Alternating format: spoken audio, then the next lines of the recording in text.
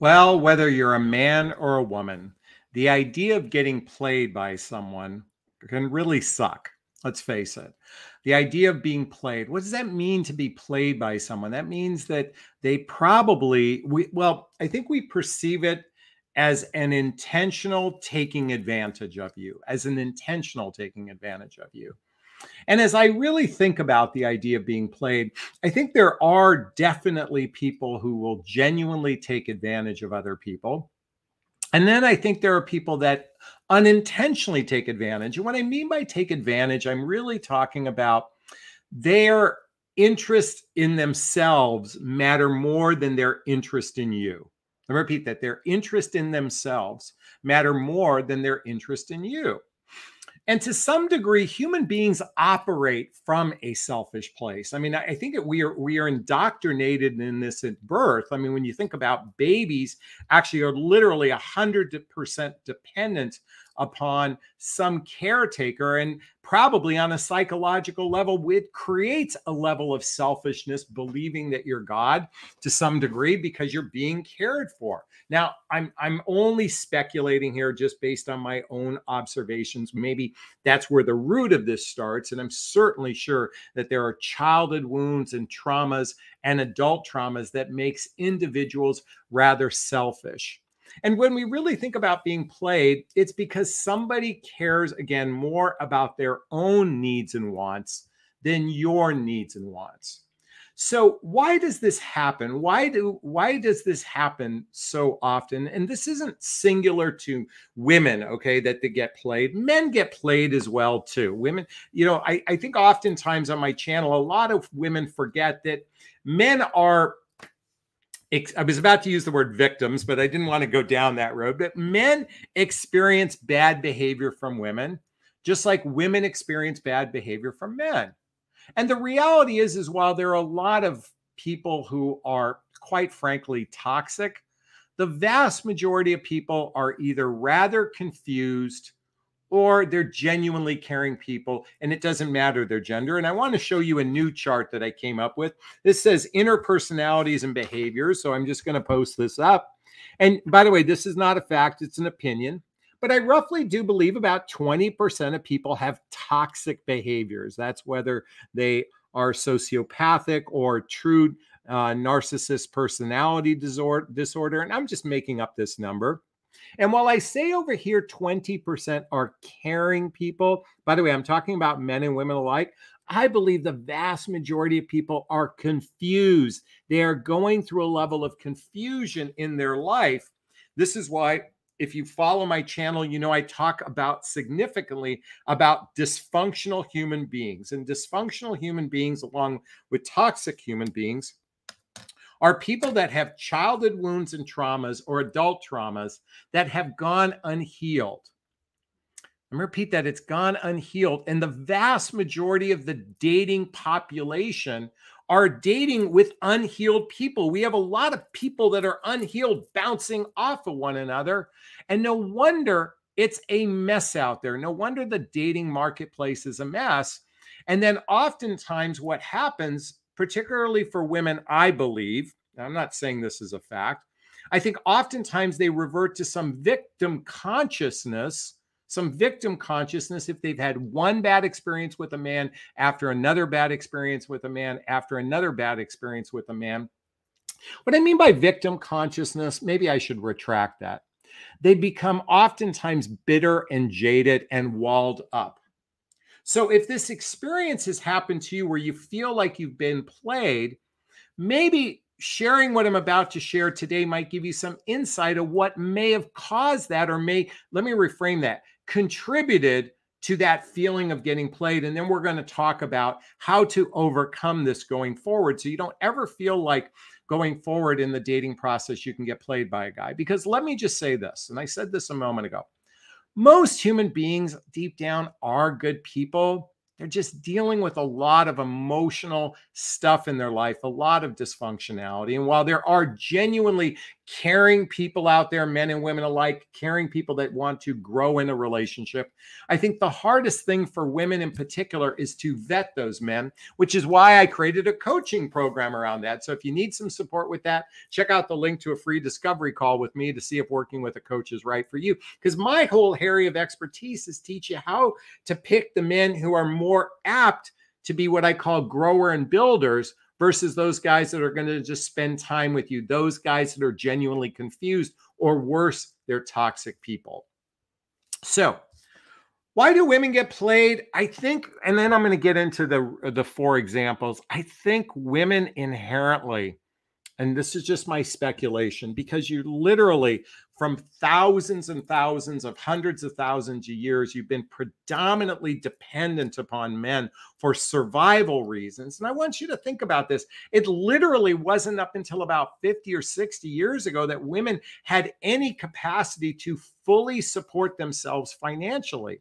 So if it's been ingrained to be dependent upon men then I oftentimes believe women give their power away to men in the early stage of dating because the early stage of dating is set up for you to give your power away because you're just simply told to lean back in your feminine energy and let the guy lead. And if you follow my channel, you know you're giving the job to the wrong person. You are in charge of your relationship destiny, which starts from a level of individual empowerment for yourself. This is why when I wrote my book, What the Heck is Self Love Anyway? A Journey of Personal Development, Self Help, and Spiritual Work, there's a link below to get the book. Well, I wrote this book. Chapter one is all about being in your empowerment to speak your truth and do it from a kind place. And ladies, I witness you oh, repeatedly, repeatedly, repeatedly stifle your voice. And I'm here to suggest and um, to invite you to be more empowered in the process so you don't get played and look at the contributing factors that might cause someone to get played. All right, so let's lean into my notes. Bump, bump, bump. so, oh, and the other thing I, am going to share this is me going off on one of my tangents. I know everybody complains. I don't get to the point, I go off on tangents, but I'd like to think from the beginning I shoot my video, I provide a lot of good content to be aware of. And then I get to the content itself that was listed in the title.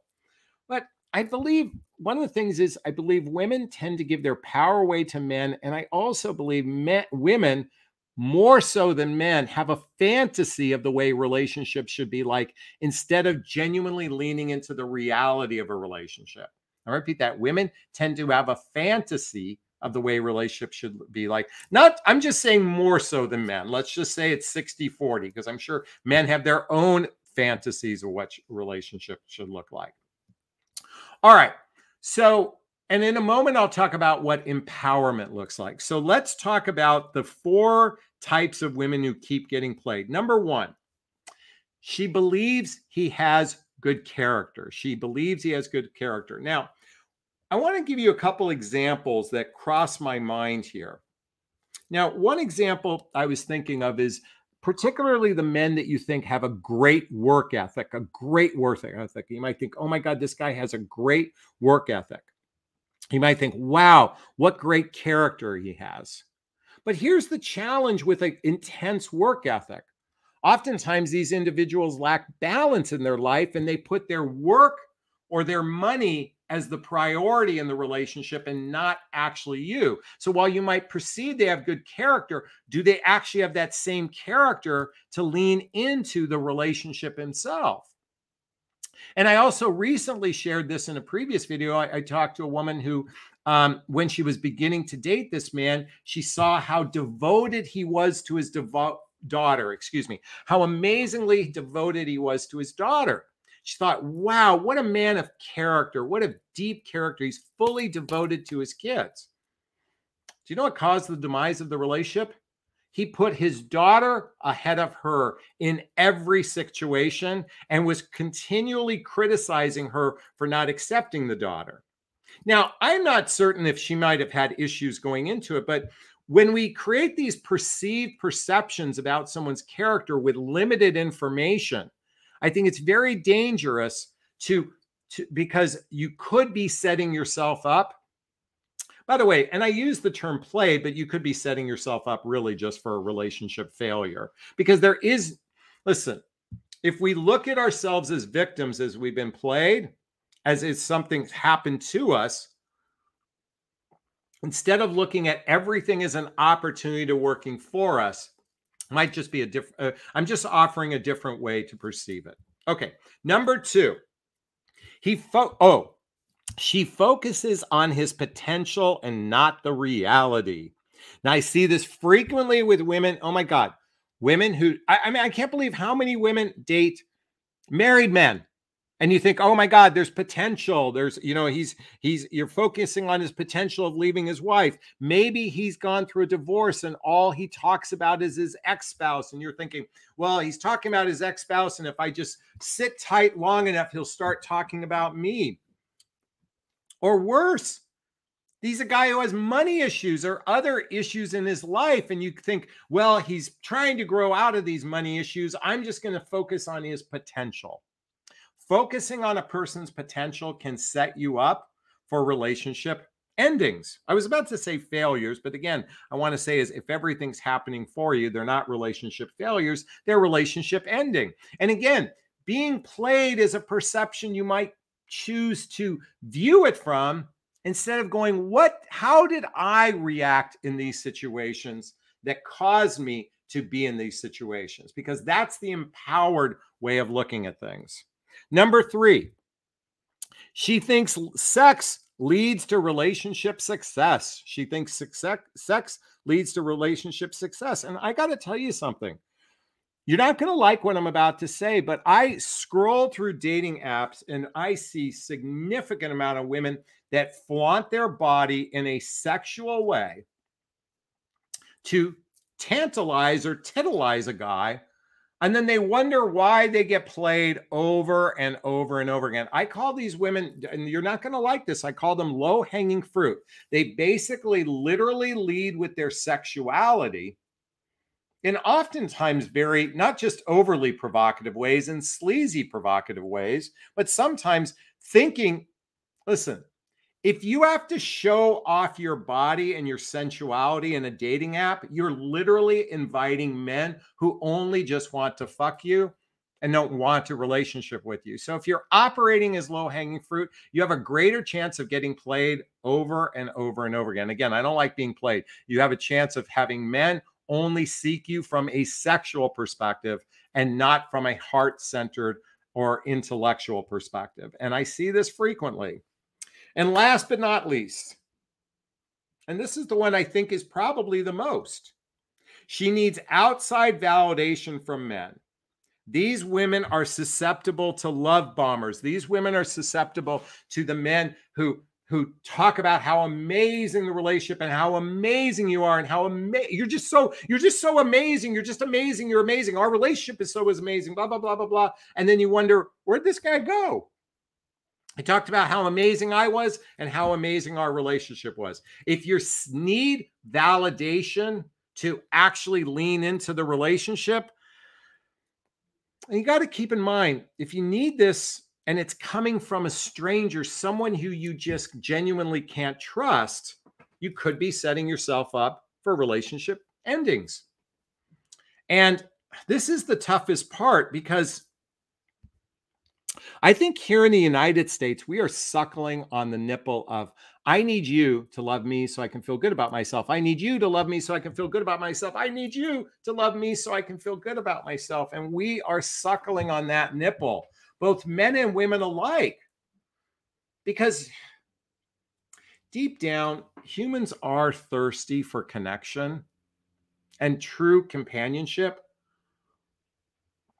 It's the confused, dysfunctional people out there, which probably represents well over 80% of the dating population today. Men and women, equally, equally are dysfunctional. And it's no wonder it's a clusterfuck out there. This is why I continually repeat over and over again read the books I recommend. By the way, there's a link below to Jonathon Recommend Books, whether it's the Hoffman process, whether it's eight dates, whether it's nonviolent communication, how to be an adult in relationship, the untethered soul. I recommend all these books because when you begin to do the work, you are less likely to get sucked in by people who are only in it for the short run or have no capacity to be in a relationship. Let me repeat that. You could have chemistry, you could have you could have chemistry, shared values, blendable lifestyles, and the person could be even emotionally mature, and yet they're not capable of leaning into the relationship because they still have unresolved issues in their lives. Doesn't make them bad people. It just happens to be the vast majority of human beings.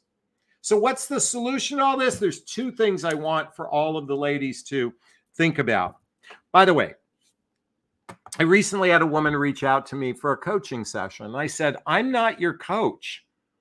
I'm here to teach you a specific area of how to choose men much better than you ever have before, and with some empowerment, with some law of attraction exercises. But if you are really a wounded bird out there, if you've got a lot of, if you don't have real trust in yourself, then I highly recommend two books. I want to recommend a new book I haven't talked about in a while, or a book I haven't talked about in a while. Breaking the Habit of Being Yourself by Dr. Joe Dispenza. Now, this ain't this is a thick book. This is gonna take you a while to read. Okay.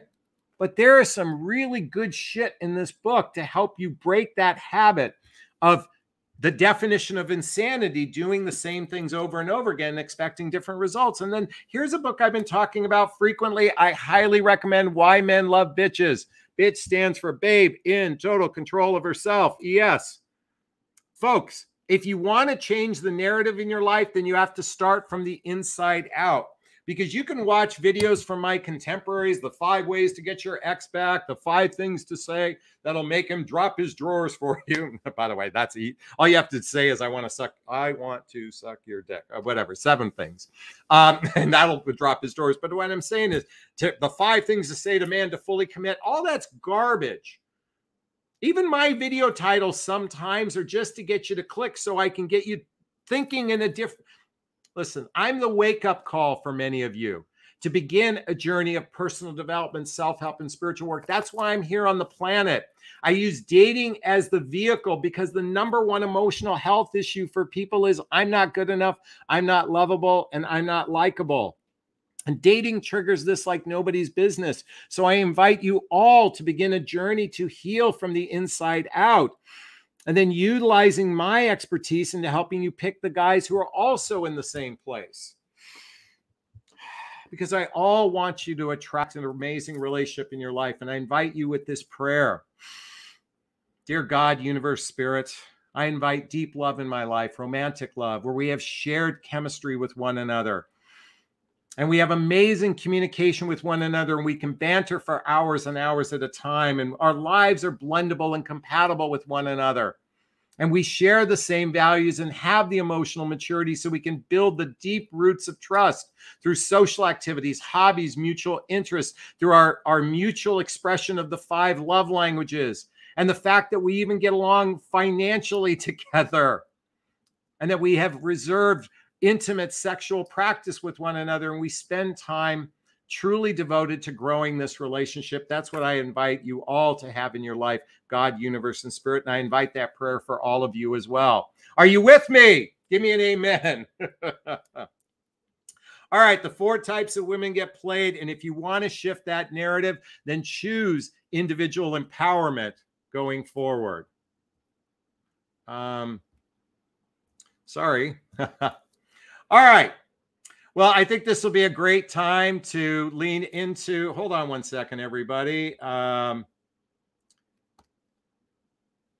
this will be a great time to lean into our q&a section of our talk for those who are familiar with my work uh, familiar with my um, my my channel my podcast everything this is time for q&a this is your chance to ask me questions directly uh, simply write the word question, then post the question thereafter, or you can purchase a super sticker, super chat. There's a little dollar sign in the chat box. All the monies go from the super sticker, super chat goes to a scholarship fund in the name of my son, Connor Aslay. That's a picture of him right there, and that's one of them right there.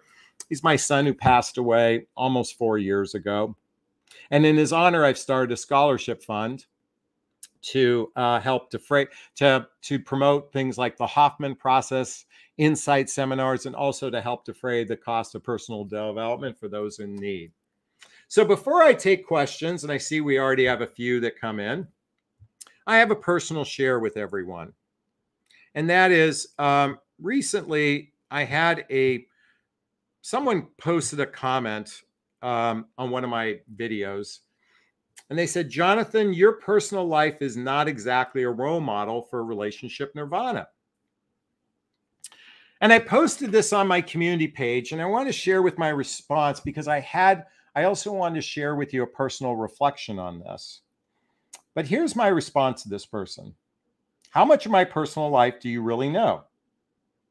With that said, I'm here. With that said, I'm here to say that the dating marketplace is a mess and I'm experiencing many of the frustration all folks experience. This makes me human. And that's why and that's what I'm modeling being a human. Plus, I encourage personal development, self help, and spiritual work as an antidote for the chaos. And I do my best to live my life from a spiritual perspective. And let me say this I'm not even close to perfect. And some days I'm cynical, some days I'm upbeat, some days I'm downright righteous. While I'm not perfect, I know my mission is to be a wake up call for many humans in the dating realm. At the same time, I have amazing relationships with so many people, and I do my best to be happy, to be a happy and fun person in my personal life. And for the record, I feel like I live a blessed life, which feels like nirvana to me. Why I wanted to share that with you, everybody, is in the days after posting that, I had an interesting awareness. And I wanted to share this with you, role modeling what I believe some of you might be experiencing. And you can let me know in the comments if that's the case. So I got married in my 20s, followed the blueprint I was supposed to follow was married for 12 years, uh, knew her, I think, a total of 15 years, and we got a divorce. And after the divorce, I was ridiculously dysfunctional because I'd lost my quarter million dollar year job and I got wiped out in the market cla- crash of 2008 and 9. And my life for the next dec- half decade was absolutely dysfunctional. Mm, not quite half half decade, but for at least two or three years before I found my passion being a dating and relationship coach. And a few years later, after beginning my journey in this profession, I met a woman. And uh, we went on to have a six year on again, off again a relationship. I'm not proud of the fact we were on again, off again. I do believe we came into our lives to each other to heal one another. And I was, she accepted me in one of my darkest, deepest places in my life. I, in fact, ladies, I wouldn't recommend what she did, and that was to choose me because I wasn't in a good place. In fact, I was so des, uh, I was so depressed and financially, you know, bankrupt that I was actually living with my mom and dad in a retirement community at age 40. And this was after living in a $2 million home prior to my divorce why I'm sharing this with you is that relationship wasn't a role model of anything other than just me being human. And that relationship ended in 2017. And as I've reflected on the five or six years, the five years since then, why haven't I been able to attract a relationship? And I want to share with you all publicly because what I'm doing my best to role model is vulnerability authenticity, and transparency. So, six months after she, uh, uh, my relationship ended, I lost my mother to cancer. She was 88 years old. And while that didn't overly affect me, that certainly was, you know, partially, I was a bit emotionally consumed by that. And then six months later, I lost my 19 year old son to an accident. And that brought me to my knees on so many levels. And the idea of being in a relationship, while I wanted companionship, while I wanted connection, while I wanted sex, I certainly wasn't in a position to do that because I was, and I was also, I didn't even feel like working in 2018 and 19. I was probably at a low point in my professional life. I'm still helping people in the dating, mating, and relating realm, but emotionally, I was going through chaos. And so I put my attention to writing a book two months after Connor passed away. Again, my book, What the Heck is Self Love Anyway? And I immersed myself in this book as a way to heal myself. And during that time, I'd done the Hoffman process. During that time, I'd done insight seminars in the last five years. What I also realized is that what was happening here in the United States was highly affecting me from my ability to really lean into a relationship with anybody.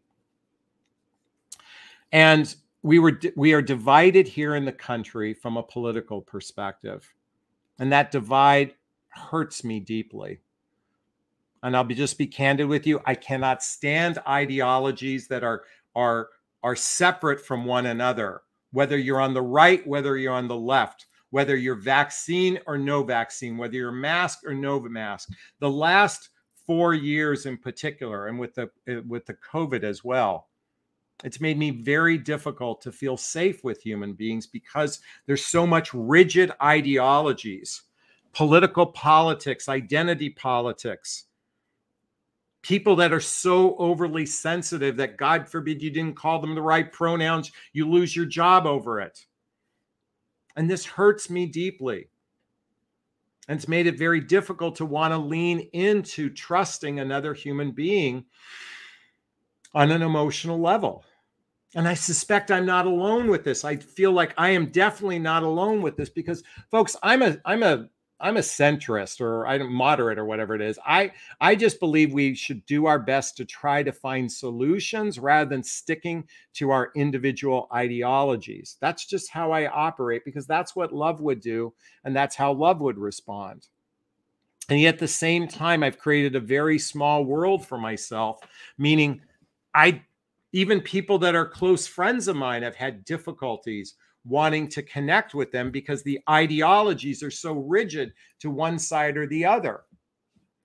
And this has made me very nervous putting myself in the dating realm because there are people that uh, their ideologies are very very clearly stated on the dating apps.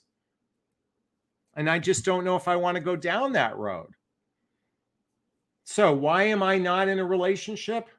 I certainly believe the last four years of my life between between losing my mother, losing Connor, and what's happened here in the United States and and certainly globally has made me less trusting of people. And I don't like that. I don't like that I'm not feeling trusting of people. I know this is my own issue, but if I really looked in the mirror after reading that comment, it's because it doesn't feel safe anymore. There's no real tribe. It, it, it didn't, you know, it was someone once said it takes a village, and I don't believe it. It feels like whether we're in the tribe, our village, our community, it feels so isolated these days. And it's certainly COVID didn't help that for so many of us that were, you know, that worked from home by ourselves. And so I only share this just as simply to state that no human being is perfect. And the minute we put any individual out there who has a public platform like I do in some capacity of being perfect, you're setting me up for failure because I can never live up to perfection. I am ridiculously imperfect. My communication, my speech sometimes, my my thinking, my thoughts, my judgments, my resentments, my guilt, my shame, I am riddled with flaws. I'm not even perfect in the dating realm. And so all I can do is have love and compassion for myself because I do my best to live un, under the the four agreements. If you're not familiar with the four agreements, I'm pulling out this book right now. Do your best, be impeccable with your word. Don't make assumptions and projections of others is or perceptions of people of others is just they're merely projections of you. And so I invite you all. The reason why I recommend all these books over and over again because look at you may not be as fucked up as I am. Believe me, I have got shit in my childhood that I mean has put up walls and armor, and even in my adult life that has walls and armor. And hopefully, you're not as messed up as I am. But I spend every day peeling the onion every day to try to be the best version of myself. And that's my invitation for everyone because we cannot be dependent upon romantic relationships to solve our individual desire to want others to love us for us to feel good about ourselves. Is this sinking in? Is this resonating? Please let me know. I'll come back and read the comments later. All right, now it's time for Q&A. And if you're listening to the live or the audio, you won't be able to see any of this. Is this making sense everyone? Thank you. Oh, I see a lot of beautiful comments here. Thank you so much. Um, I just hope that I can find a gentleman who knows how to have a conversation with me without sex right off the bat no love bombing. Why do men love bomb? Why do they? Look at, I'm guilty of love bombing. I'm guilty of being fucking my brain. By the way, folks, I'm going to tell you, I am guilty, habitually guilty of the penis doing the thinking. Ladies, men are the gas, you're the brakes. okay. Okay, you I mean, even I listen as as evolved as I might be, that you might perceive me to be, I'm that guy too.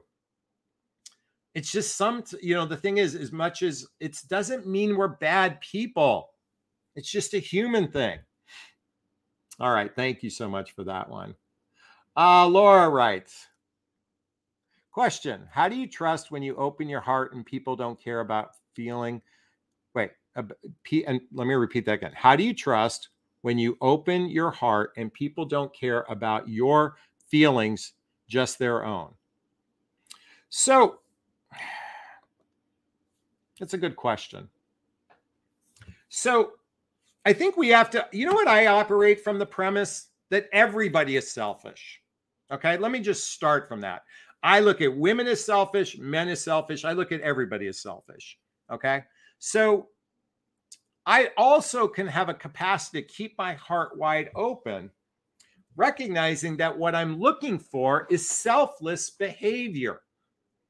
And the more selfless behavior I witness, the more I trust this person. But first, I trust myself. And I trust myself with this one narrative. Okay.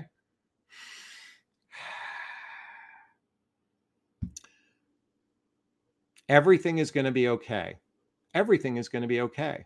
Everything is going to be okay.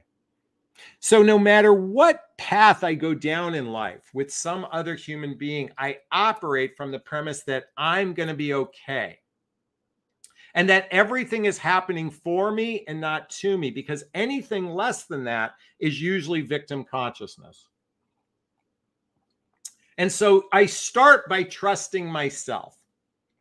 And I trust that God, universe, spirit puts people in my path, help me to grow and love myself, or they help me grow, or they teach me a lesson to help me grow or love myself. And that's how I operate. Is this sinking in? Is this resonating? Please let me know. Laura, thank you so much for that question. Okay. Let's see what we got here. Looks like we have a $10 super. Oh, I want to thank Jay Cantor for the $10 super sticker. Thank you so much for this Connor Scholarship Fund. I appreciate that. Uh, we are all feeling that way. Thank you so much. Um, yes, work at home. Oh, Jonathon, sorry to hear. I think everything is better. It's people that are panicking for nothing. I had COVID from the beginning, and I'm not afraid to talk to people. Love is indeed this world. Amen. Love is indeed in this world. All right. Um, bear with me, everyone. Let's keep swimming. Lily uh, says, Jonathon, honestly, a role model to me is a person who's willing to pick themselves up every time life kicks them down. And for being this model, I thank you, Talia from Canada. Thank you so much. And if I butchered your name, I apologize. Um, oh, Alexandra says, You're a person to follow. It's because you're transparent and honest and real. Thank you so much. I appreciate that. Brenda says, That's all we can do is peel our onions. Exactly. You know, folks, I, I encourage you all to introspectively look inward and go, what can I do? This is what I do is like when I listen, my my barometer is really simple. I'm either feeling good or I don't feel good. Now, sometimes my feelings are um, affected by the weather because I'm highly uh, affected by the weather. Um, so it's a gloomy day outside. I tend to be gloomy. I could never imagine living in Seattle or any place that's uh, raining all the time. So that's one thing. But then when it comes to interpersonal, I ask myself, do I feel good or I don't feel good? And when I don't feel good, I always ask myself the question what's inside of me that's causing this. In other words, I don't look at the other person, I look at myself. I go to the mirror and go, what inside of me is causing this? That's the question I ask myself. I and I don't I do my best not to go into victim consciousness and blaming. And as I said before, we are suckling on the nipple of victim consciousness here in the United States. And I'm certainly guilty of that in many ways. So, uh, anyways, I went off on a tangent there, so thank you. Oh, we got another $9 super sticker. Thank you, Renee. I appreciate that. Uh, Susan says, Love thyself at least 80% before letting others love you, if you know what I mean. I hope I'm at 80%. I don't know, but I'm getting there. I hope I'm there, but I'm getting there. Tanya says, Jonathon, you're adorable. I love your honesty. It's inspiring. Thanks a bunch. I appreciate that. All right. Here's another one love bombing. It stinks, but the real question to me is why do we allow it or even entertain it? There is responsibility on our part for what we allow and accept. Oh my God, I'm so happy you said this. Thank you so much. It's interesting. I was listening to Jordan Peterson earlier today. Some of you might not like him. I find him to be a fascinating intellectual, and he was talking about individual responsibility today.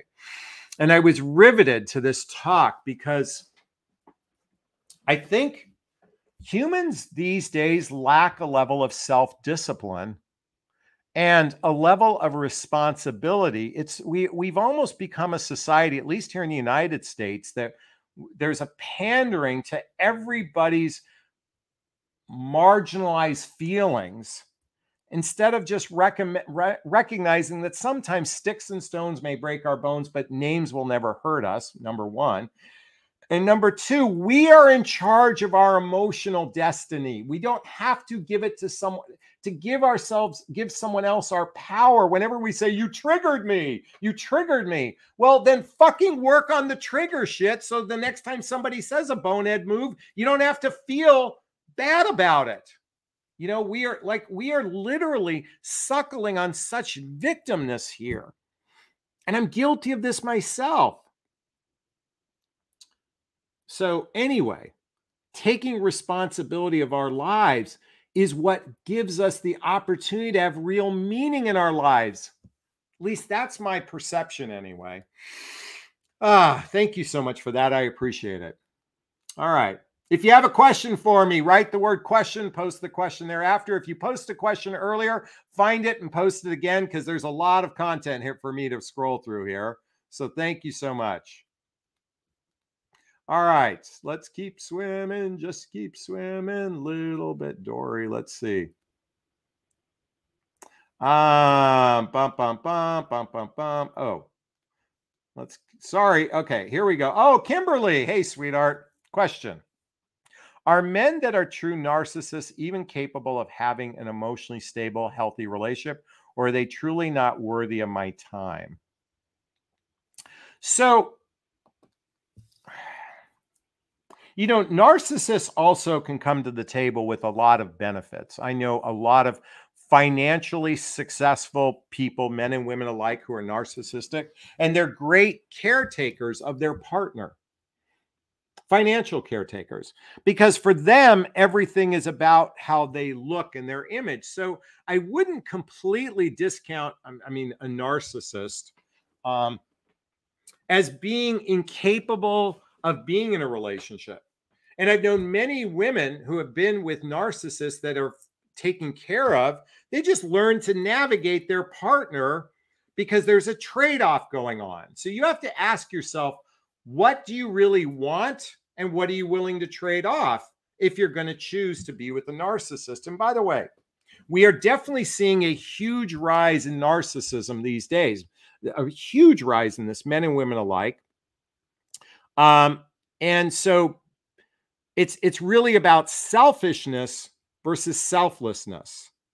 And it's difficult. By the way, ladies, you are not role models of being virtuous okay? You there are just as many gold diggers and women take advantage of men. Every time someone complains every time i i recommend taking turns in the dating process and a woman says i deserve to be financially taken care of by a guy. Well that's narcissistic I'm not saying it's narcissism, it's narcissistic to believe that you are better than someone else. And we are suckling on the nipple for a lot of human beings of thinking that they're better than other people instead of saying we are all on this planet doing the best we can.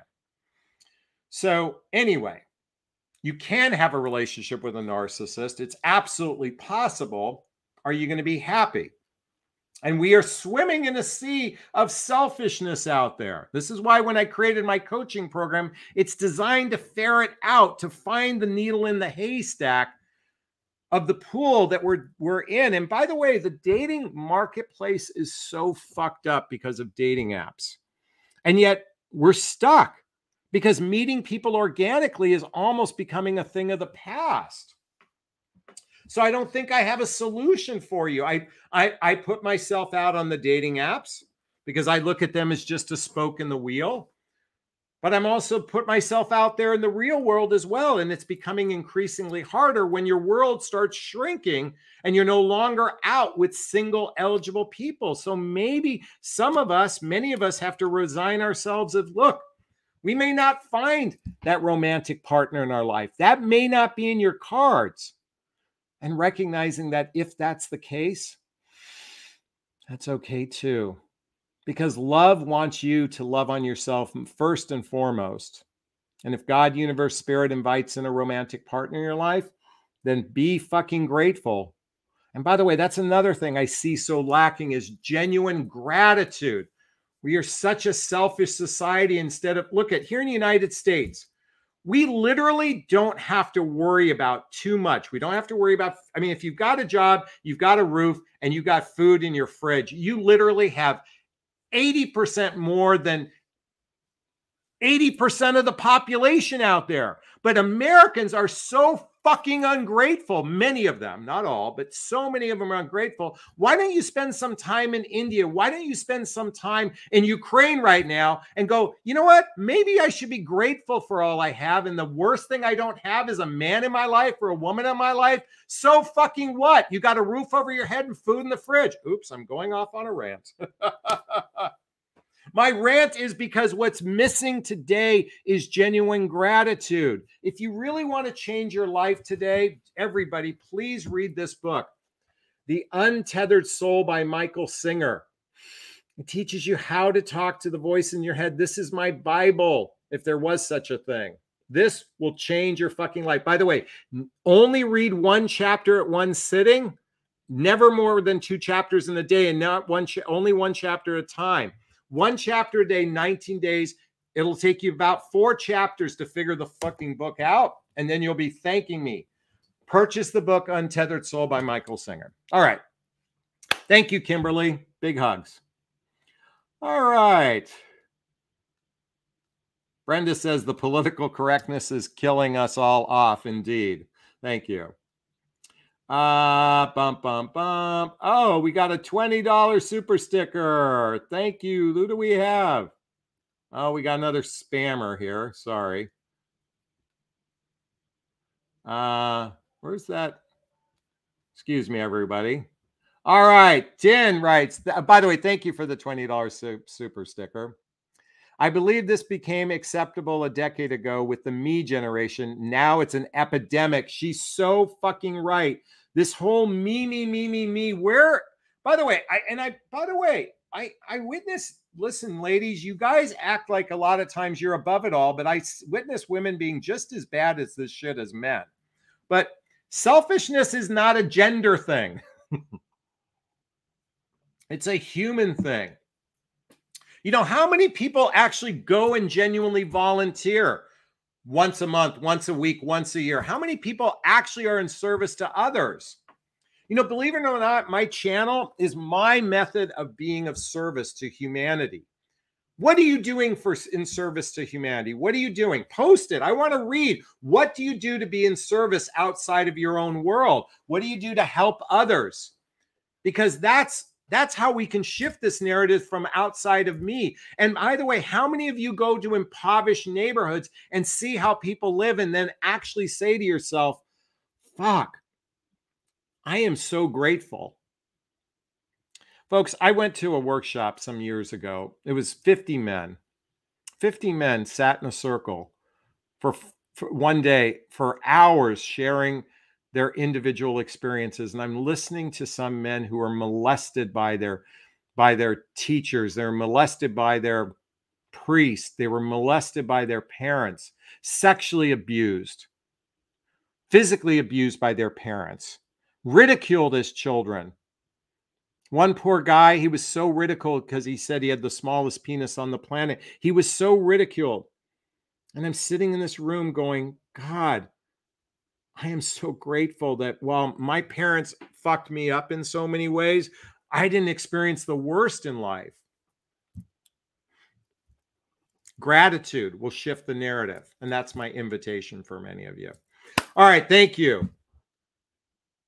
Here's Alexander says gratitude versus generosity. Gratitude is important, but if we focus on generosity, we are spreading so much love and goodwill. A fucking man. Way to go there, Alexandra. I appreciate it. They're here on Memorial Day. Way to go. Um, Jennifer says, Thank you for your humanity, Jonathon. We appreciate your wisdom and transparency. Thank you so much. And I do believe what Suzanne Susan says gratitude reverses negativity. All right, for the last few minutes, I'm going to answer any personal question you have of me before we wrap up for on this uh, Memorial Day. If you have a personal question, write the word personal question and then post the question you have of me. If you have, want to ask me a personal question, I'm going to do my best to respond. Mary, Mary Lynn says, I spend time once a month doing service through my church group. Mary Lynn, big hugs to you, sweetheart. Big, gigantic Jonathon Bear hugs to you. All right. Debbie says, I want all the books. Um, Renee says, I, I love going to Nicaragua after many trips there, sponsoring a little girl for the past 10 years. Way to go. It made a, such a huge impact on my views and my heart. Way to go. I love reading this. Grace says no parent can fulfill every need to their children, no matter how educated or experienced they are. Harville Hendrix, exactly. All right. how's your personal question? How's your new relationship going? So, um, so I'm going to wrap up on this, everybody. I think you mentioned everybody that I met someone during a trip to Chicago. I live in Los Angeles. She's actually in town here um, visiting her uh, daughter and her son. And we're going to see each other on Wednesday or Thursday, I believe, uh, and spend a few days together. We're going out to um, dinner with my good friends. Um, you know, this is a challenging thing when you do a long distance relationship. And while we're having many talks with each other from a very grounded, emotionally mature place, it's still a logistic challenge. And while I don't know if this is going to work out, I don't know if it's even going to, I'm going to see her after this trip. I have no idea. All I know is I'm learning a lot about myself in this experience. I'm learning not to get, I have a propensity to get needy. I have a propensity to get impatient. And I'm learning, and our communication styles are quite a bit different with one another. So I'm learning um, and I think our love languages are different than one another. So I'm learning to witness how I feel in this dynamic without getting attached to the outcome. So I'm operating from a place of being as open and receptive as possible and not attached to the outcome. And so while I'm not a big proponent of living purely in the moment, of having looking downstream, what we both agree to with each other is to just experience this for what's happening this week and then take it from there. again, we might not ever see each other. That's a strong possibility, or it might turn into something. I will say, logistically, it is a complicated situation, and I'm not so certain that that might not be the downfall. But at the same time, whether it works out with her or not, what matters most is life is a journey, it's not a destination. And so the only all I can do is be vulnerable, authentic, and transparent. And most importantly, transparent with her um, I don't have to be overly vulnerable, but I want to be as authentic and transparent with her as possible because that's, at least in my purview, what matters most. And so, to answer your question, I, I think that'll do it. Uh, so, thank you so much for that. Um, by the way, we've got a spammer here, so I'm trying to block this person. Uh, all right.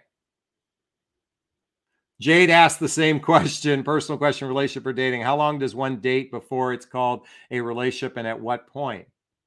Um, I I'll, I'll end on this note. By the way, the coffee mug says, "Let that shit go." Um, personally, I believe when two people decide to have sex on a regular basis with each other, well, we'll go through my dating vows. This would be a perfect example when two people decide to have sex with one another, I've, I've said this, my dating vows. I'll post it in the description when I wrap up.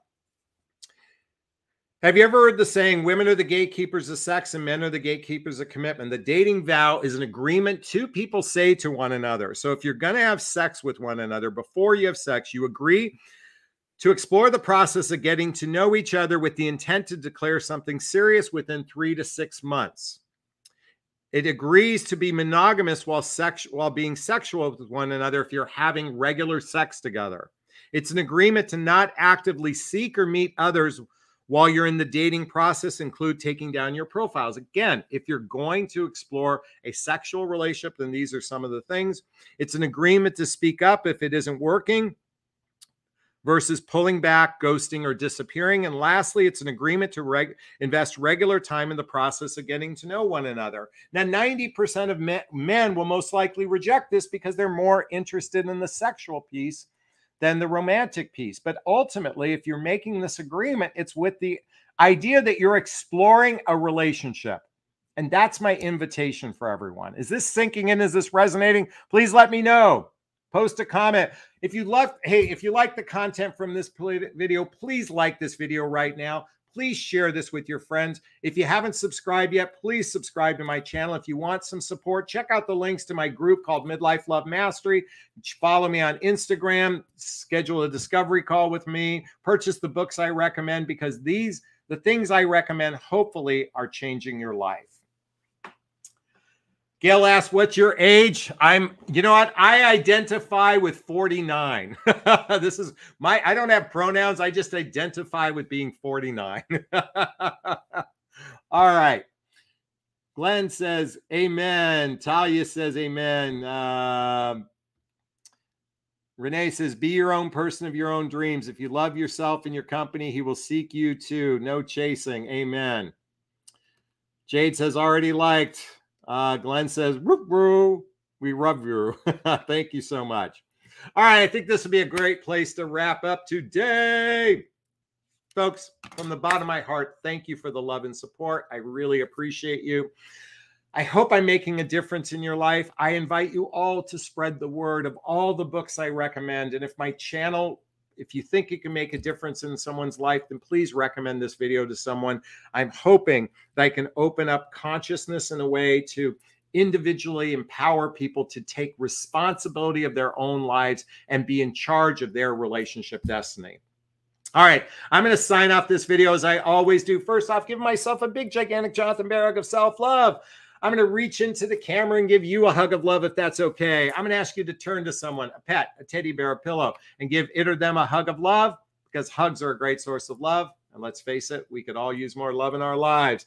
I want to thank Glenn and Kelly and Rebecca and Debbie and Andrea and Angie and Mary T and uh, Renee M and Renee J and Grace and uh, Talia and Gail and uh, Mary T and uh, Alexandra And uh, ah, ba, ba, ba, ba, ba. Lori, everyone, thank you so much.